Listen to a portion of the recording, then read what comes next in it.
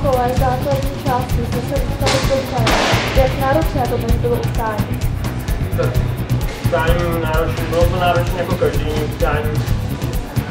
Připravovali jsme se na něj určitě stejně, měli bychom tak přizpůsobovat, ale no, bylo nám myslím dneska trochu štěstí, protože první dvě třetiny jsme zvládli tak daleko líp než soupeře. Akorát ta třetí třetina, no, přišlo mi, že byli víc aktivnější a nevím, něco nám tam chybělo, něco, co Dušany zápase předvedli a chybělo to tam, to rozhodl ten zápas a jsme to nedokázali odpovědět. Eh, Skoro se i v dnešní duelu hodně přelévalo ze strany na stranu. Co bylo podle tebe nakonec tím rozhodujícím momentem? Byly to právě závěry ty přesilové hry?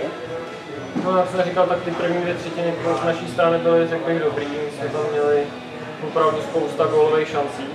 Myslím si, že nám chybělo i trochu štěstí, protože já sám jsem mohl v druhé třetině klidně skorovat rovnou dvakrát.